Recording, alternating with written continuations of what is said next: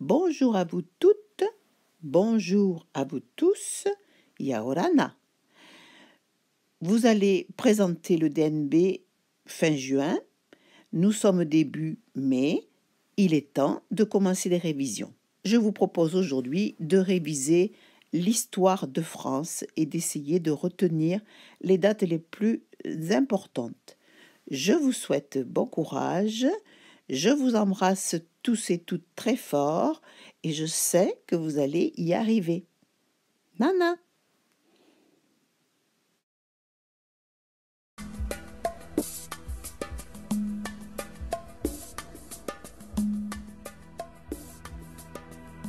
Notre histoire commence il y a environ cent mille ans avec la présence de petits groupes d'hommes de Néandertal éparpillés dans toute l'Europe. C'était un genre d'hommes différents, mais il disparut lors de l'arrivée de populations de Cro-Magnons, nos ancêtres directs.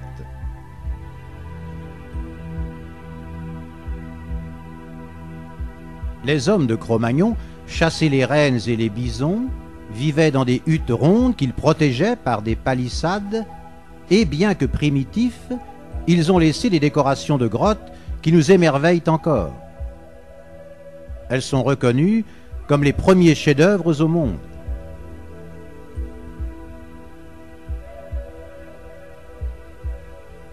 Nous sommes à la fin des grandes glaciations. Les hommes se sédentarisent et, se réunissant en petits villages composés de maisons de bois, ils commencent à développer l'agriculture, l'élevage, la céramique et la culture du lin pour en faire des tissus.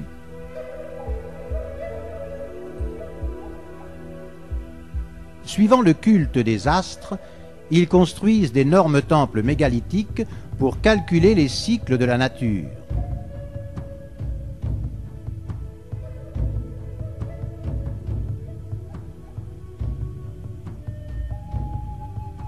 Ce n'est qu'au début de l'âge du bronze que se forment les premiers grands peuples européens, dont les plus puissants sont les Ibères, les Ligures et les Daces. Un millénaire plus tard, d'autres peuples deviennent tout aussi importants. Ce sont les Étrusques, les Grecs, les Carthaginois, les Germains, les Bretons et les Celtes.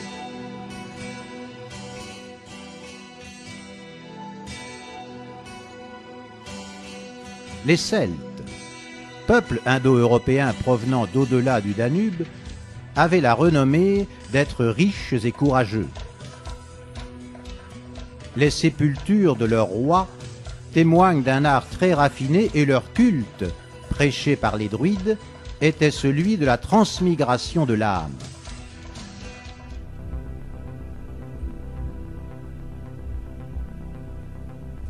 Les Celtes gaulois, une centaine de peuples souvent en conflit entre eux, avaient comme forteresse les Oppidas.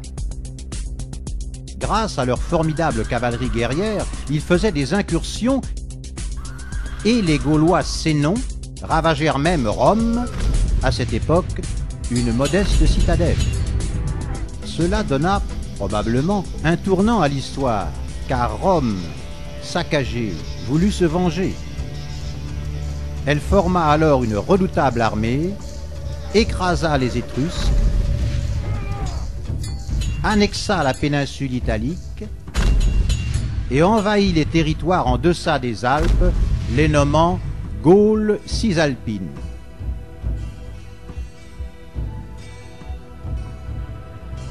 Les Gaulois saliens et Arvernes, alarmés par l'avancée romaine, aidèrent alors les Carthaginois d'Hannibal lors de son invasion de l'Italie.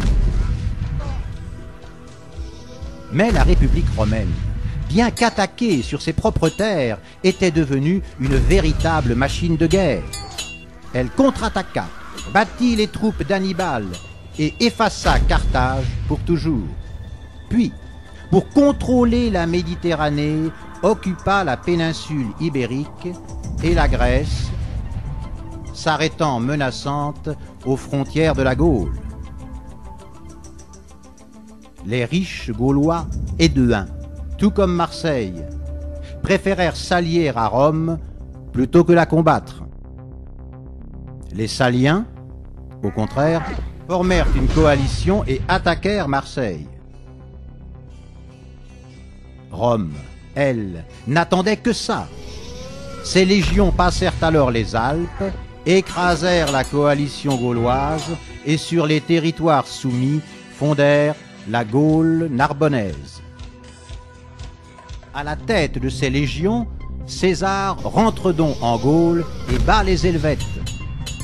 Puis il bat aussi les Suèves, s'installe sur les terres conquises et propose aux Gaulois de se joindre à la République romaine pour s'opposer ensemble aux incursions des Germains. Mais César était invincible. Il bat même les Belges et profitant des mésententes entre les Gaulois, il conquiert l'ensemble de la Gaule, la nommant Gaule transalpine. Les Gaulois, pourtant, ne s'avouaient toujours pas vaincus. Mis de côté leurs anciens différends, ils avaient réuni leurs forces pour affronter l'envahisseur commun. Et c'est un jeune chef Arverne, appelé Vercingétorix, qui prit le commandement de la coalition. Au cours des premiers combats, César est battu mais il regroupe alors ses forces, contre-attaque, brûle les terres des Gaulois et assiégeant Vercingétorix à Alésia, il met fin à la rébellion. C'est l'Empire romain.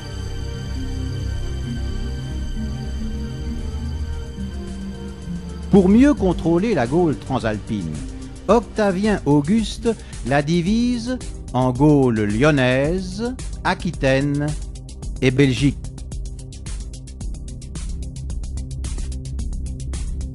Toutefois, les Gaulois n'étaient pas tous soumis.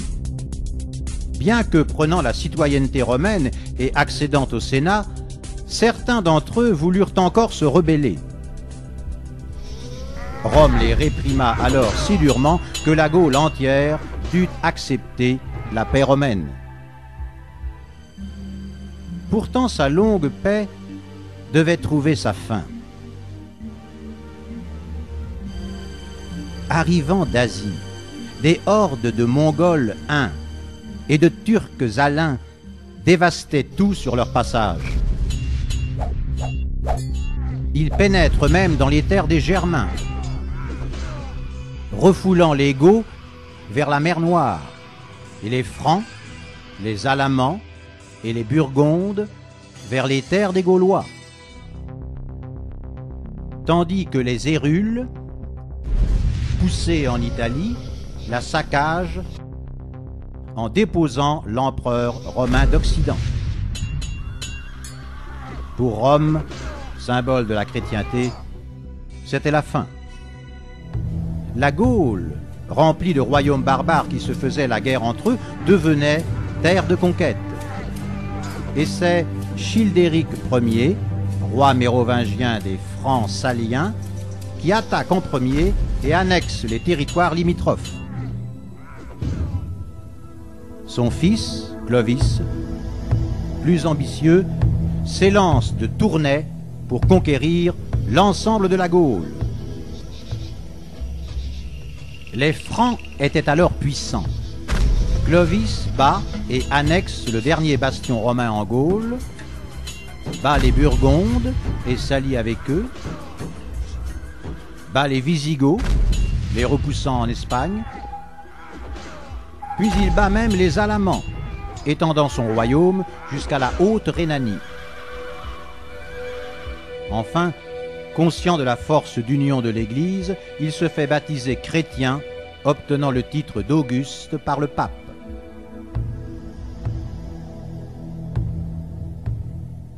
Clovis, premier roi de l'ancienne France, établit sa capitale à Paris et ses fils annexent la Burgonde sous Dagobert, dernier roi mérovingien, le royaume franc se reconstitua, quoique l'Aquitaine s'en détacha en proclamant son indépendance.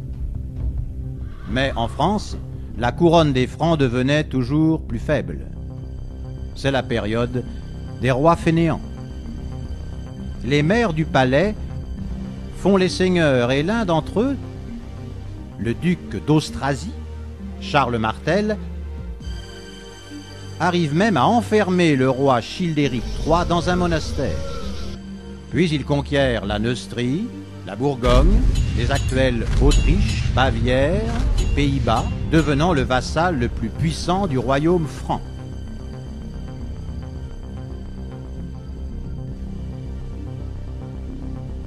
En Europe, entre-temps, un nouveau grand danger approche.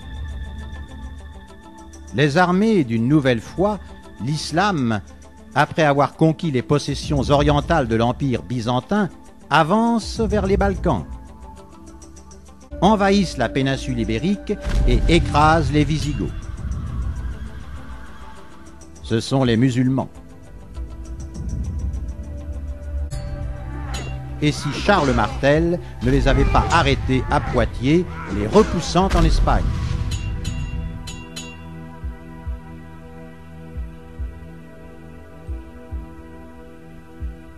À Charles Martel succédèrent ses fils, Carloman, et Pépin le Bref. Mais comme Carloman choisit la vie monastique, Pépin resta seul au pouvoir.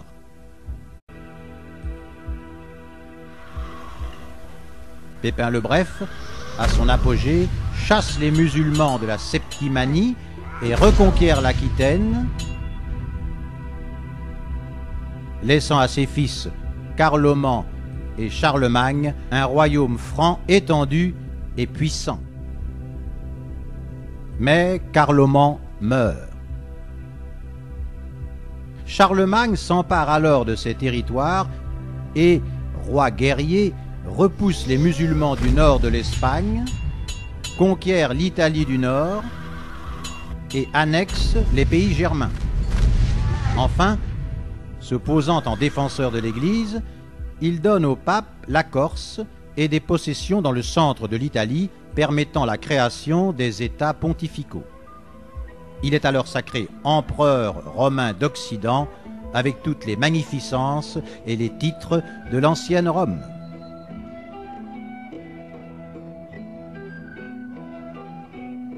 Charlemagne établit sa capitale à Aix-la-Chapelle et fut le souverain le plus puissant de l'Europe médiévale, mais son énorme empire morcelé en une multitude de principautés avec coutumes et langues différentes, était difficile à unifier. Au traité de Verdun, il sera donc partagé entre les trois petits-fils de Charlemagne.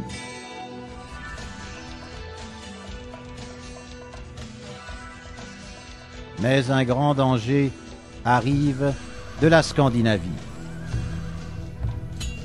Les vikings normands après avoir dévasté les îles britanniques, débarquent par la Seine, ravageant tout jusqu'à Paris.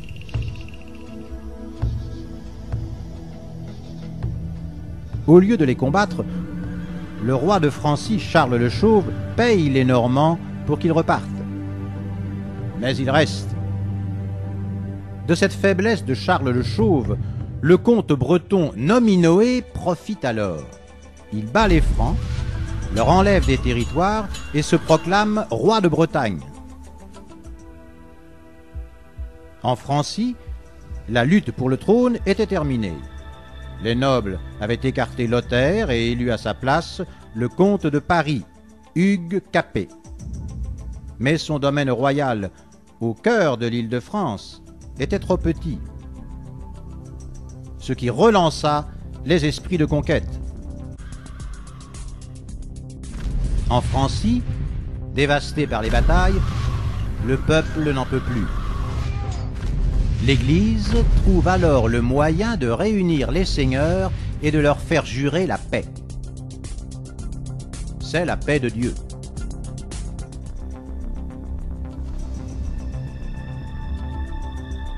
Déjà un nouveau grand danger menace la Francie. Le comte d'Anjou, Henri II, possesseur de Normandie, Bretagne et Aquitaine, avait hérité du royaume d'Angleterre. Et depuis son énorme empire plantagenet, il défiait la Francie. Philippe Auguste, le jeune roi de Francie, avait cependant les idées claires. Bien qu'âgé seulement de 15 ans, il voulait absolument s'imposer sur ces grands seigneurs qui menaçaient sa couronne. Sous Philippe Auguste, la Francie, devenue la France, est la nation la plus riche, la plus peuplée, la plus puissante d'Europe. Le fils de Philippe Auguste, Louis VIII le Lion, y joint le Languedoc, des hérétiques cathares, profitant de la croisade contre les albigeois. Et son fils, Louis IX, connu comme Saint Louis pour sa sagesse et ses valeurs morales, continue les croisades et développe la justice. Le nouveau roi de France, Philippe le Bel, en conflit avec l'Empire germanique et l'Angleterre, modernisa sa politique avec l'institution des États généraux. Il réunissait la noblesse, le clergé, et la bourgeoisie qu'il consultait. Philippe le Bel, roi innovateur, ne laissa pas d'héritier. Le trône de France passa alors à Philippe VI de la famille cadette des Valois. Cela provoqua une terrible colère d'Édouard III, le roi d'Angleterre, qui prétendait à la couronne de France en tant que petit-fils de Philippe le Bel. C'est le prélude de la guerre de Cent Ans. L'armée anglaise attaque la France et, n'obéissant pas aux règles chevaleresques, inflige à Philippe VI de cuisantes défaites. La peste noire avait tué un tiers de la population et la Bretagne s'était alliée aux Anglais. Pourtant, roi courageux, Charles V reconquiert la plupart des territoires perdus et rétablit l'ordre. Tout était perdu. La France devenait anglaise. Mais Jeanne d'Arc, dans une ardeur patriotique suivie par le peuple, libère Orléans des Anglais et persuade le dauphin Charles VII de se faire sacrer lui aussi roi de France à Reims. En France, à Charles VII succède Louis XI. Louis XI annexe alors la Bourgogne et la Provence, rétablissant l'ordre à partir de Tours. Française commence. Pour s'assurer la paix, Charles VIII signe des traités avec Henri VII d'Angleterre, avec l'empereur Maximilien Ier d'Autriche et avec Ferdinand II d'Aragon qui avait commencé les grandes navigations de découverte avec Christophe Colomb. À la mort du pape Jules II, la Sainte Ligue s'affaiblit. François Ier, devenu roi de France, put alors battre les Suisses et se partager le nord de l'Italie avec Venise.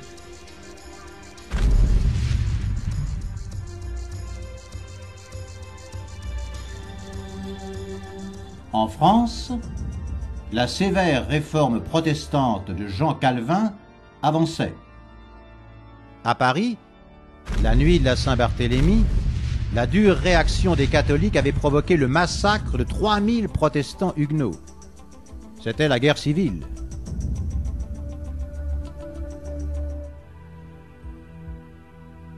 En France, Henri III avait désigné un héritier protestant, son cousin Henri de Bourbon, qui prit le nom d'Henri IV.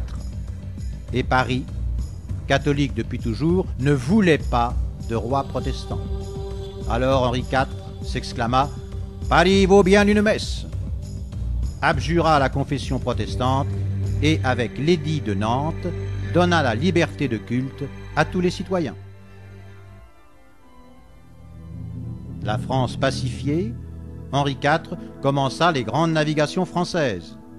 L'Amérique, les Indes, Madagascar et le Moyen-Orient sont explorés. Son fils, Louis XIII, colonise la Guadeloupe et la Martinique, les nobles. La monarchie absolue, avec Louis XIV, le roi Soleil, est instaurée. La France devient alors la première puissance militaire et culturelle d'Europe.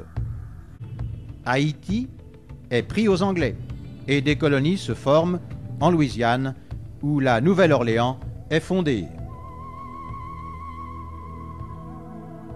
Mais les frais des colonies et des guerres, ajoutés au faste de la cour et à la construction de Versailles, dépouillent les finances de l'État. Le peuple, affamé, proteste. Louis XIV le réprime alors sans pitié. En France, le pouvoir du roi Louis XV reste entier. La paix et la prospérité reviennent et la Lorraine est pacifiquement intégrée. Et comme le Royaume-Uni avait gagné des territoires français aux Indes et en Amérique du Nord, le nouveau roi de France, Louis XVI, aida les insurgés américains dans leur guerre d'indépendance contre les Anglais. En France, les idées de la Révolution anglaise avaient animé un mouvement intellectuel et scientifique, les Lumières. La providence de Dieu était remise en question à la lumière de l'esprit critique et le rôle du roi et de l'État était contesté. Montesquieu, Diderot, Voltaire, Rousseau et d'autres hommes de culture demandaient des réformes. Louis XVI était un souverain modéré. Il permit l'opposition, restaura la tolérance envers les protestants et rendit les impôts plus égalitaires. Devant le refus des nobles et de l'Église de payer une taxe sur leurs possessions, il ira jusqu'à restaurer les États généraux. Mais le tiers-État, composé par les représentants du peuple, n'acceptait plus ces anciens ordres privilégiés. Se retirant des États généraux, le peuple français exigeait une nouvelle constitution avec des réformes encore plus radicales que celles du roi. Les privilégiés s'opposèrent encore et le 14 juillet 1789 sonna leur fin. Le gouverneur de Paris est tué, le peuple prend la Bastille, le roi Louis XVI et sa famille sont arrêtés.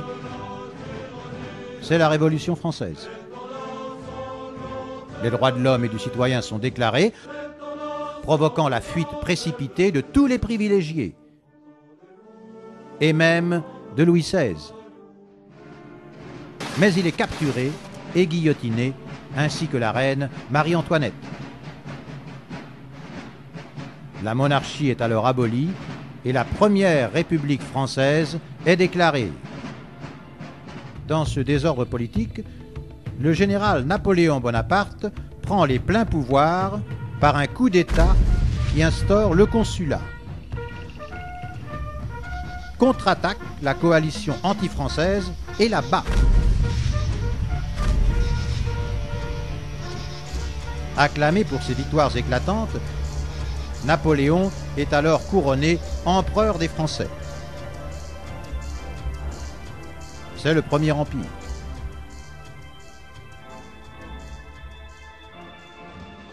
Napoléon continue ses conquêtes et bat la Prusse, permettant à la Pologne de se recréer. Puis il annexe les Pays-Bas,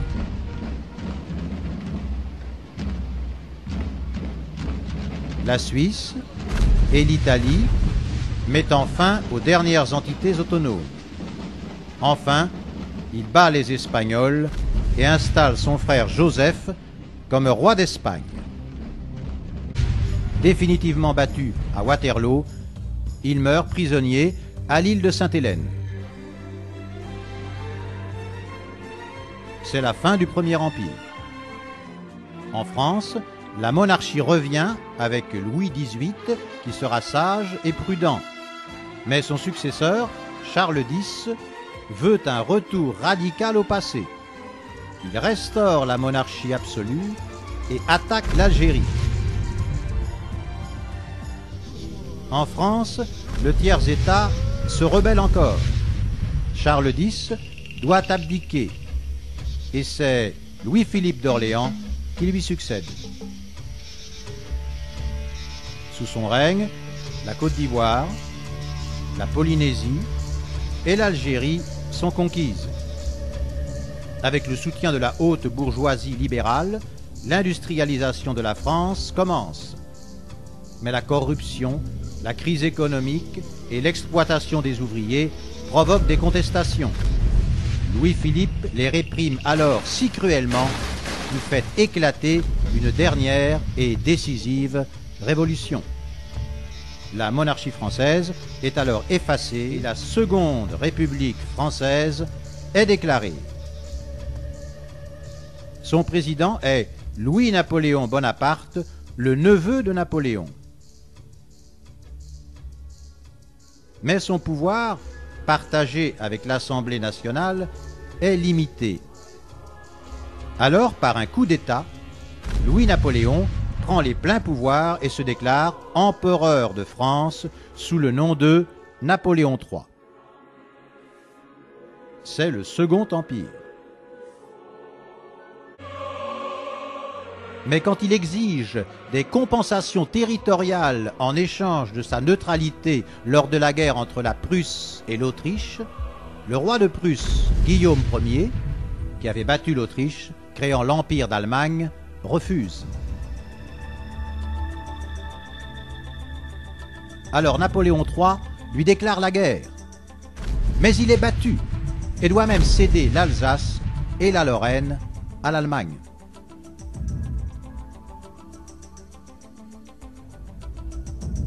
L'Empire aboli, la Troisième République française est alors proclamée. La paix avec l'Allemagne est signée et un protectorat sur la Tunisie est établi. Finalement, les innovations culturelles, les divertissements populaires et les nouvelles formes d'art françaises peuvent s'exprimer. C'est la belle époque. À l'exposition universelle de Paris, la tour Eiffel, symbole de la France moderne, est inaugurée. Cependant, une grande guerre se prépare. La Roumanie a pris son indépendance vis-à-vis de la Russie. Mais la Serbie et la Bulgarie, après avoir chassé les Turcs, se déclarent la guerre, se disputant la Macédoine. Se forment alors deux coalitions. La Serbie, alliée à la Russie, à la Roumanie, à la Grèce, au Portugal, au Royaume-Uni, à la France et à l'Italie, contre la Bulgarie, alliée à l'Autriche, à l'Allemagne et à la Turquie. C'est la Première Guerre mondiale. L'Allemagne commence les hostilités, elle envahit la Belgique et le Luxembourg, arrivant près de Paris. Mais soudain, tout change. L'Autriche sort de la guerre une défaite militaire et une révolution ayant aboli sa monarchie, la première république autrichienne est proclamée. Une révolution éclate aussi en Allemagne. L'empereur est obligé d'abdiquer et la première république allemande, coupée en deux entités territoriales, est proclamée. C'est la fin de la guerre la République française récupère l'Alsace et la Lorraine. Dans toute l'Europe, des coups d'État militaires installent des dictateurs. En Espagne, le général Franco prend le pouvoir. Au Portugal, une dictature militaire interdit le Parti communiste. En Italie, Mussolini établit la dictature fasciste. En Allemagne, Hitler élimine toute opposition et se proclame Führer. La Seconde Guerre mondiale éclate. L'Allemagne nazie intègre l'Autriche. Puis elle envahit la Tchécoslovaquie, la Pologne, la Belgique, les Pays-Bas, le Luxembourg et même la France, l'occupant en grande partie.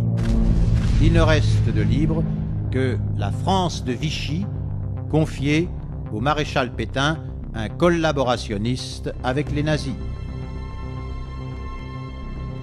Tout était de nouveau perdu. La France devenait allemande. Mais la résistance se prépare le général Charles de Gaulle, depuis Radio Londres, se déclare chef légitime du gouvernement français en exil et appelle les Français au sentiment national.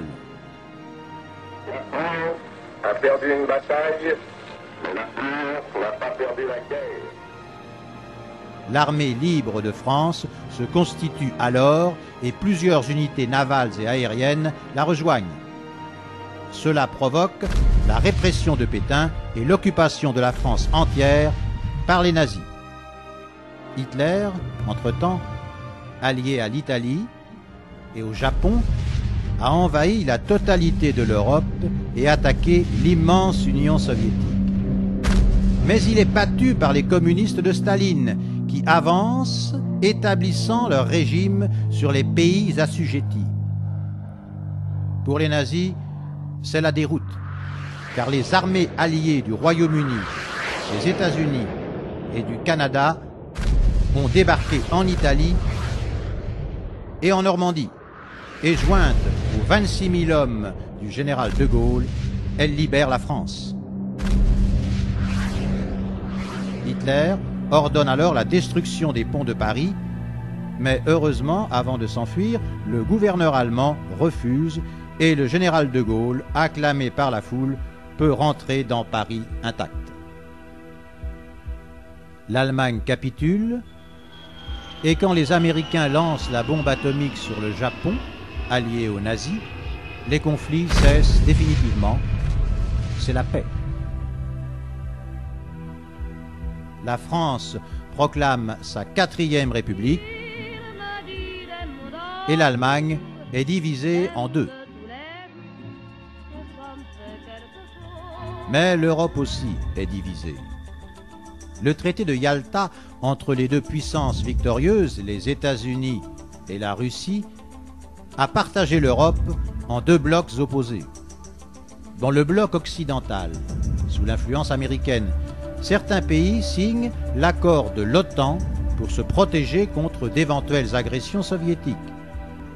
Dans le bloc oriental, sous l'influence soviétique, certains pays signent le pacte de Varsovie pour se protéger des Américains.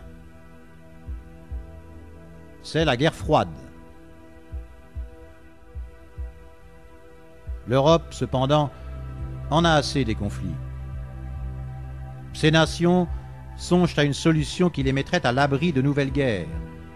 Le ministre français, Schuman, a alors l'idée de mettre les industries liées aux armements sous le contrôle réciproque des deux principaux producteurs de fer et de charbon, la France et l'Allemagne. Et au traité de Rome, la communauté économique européenne est créée. Son but est le rapprochement économique et la libre circulation des personnes, des marchandises, des services et des capitaux entre les pays membres. Les signataires en sont la France, l'Italie, l'Allemagne de l'Ouest, la Belgique, le Luxembourg et les Pays-Bas. Nommé président de la Ve République française, De Gaulle demande aussitôt au Royaume-Uni et aux États-Unis le partage du commandement de l'OTAN. Mais il refuse. Alors De Gaulle retire la France de l'OTAN, expulse les installations d'armes nucléaires américaines du territoire français et munit la France de l'arme atomique, la rendant première puissance militaire nucléaire d'Europe.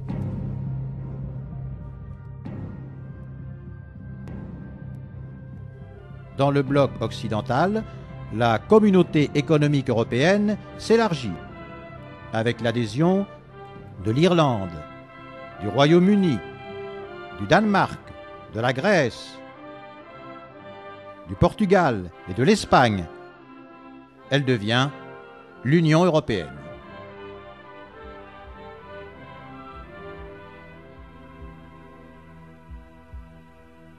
Un changement politique met fin au régime communiste de l'Union soviétique. Les pays sous son emprise reprennent leur indépendance et l'Allemagne abat le mur de Berlin, se réunifiant en un seul pays. Avec l'adhésion de la Finlande, l'Autriche, la Suède, l'Estonie, la Lettonie, la Lituanie, la Pologne, la Tchéquie, la Slovaquie, la Hongrie, la Slovénie, Malte, Chypre et enfin de la Roumanie et de la Bulgarie, l'Union européenne s'élargit encore et devient l'actuelle Europe des 27.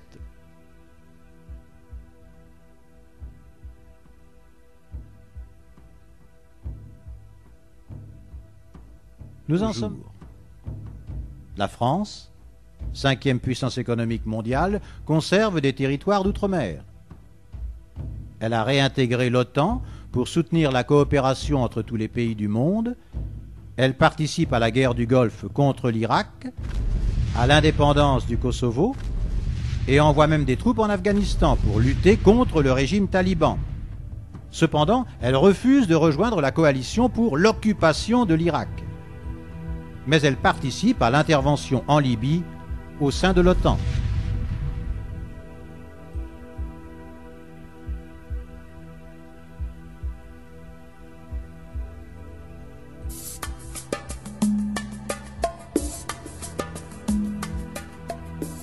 Voilà donc la grande histoire de la France, le pays le plus ancien de l'Union européenne.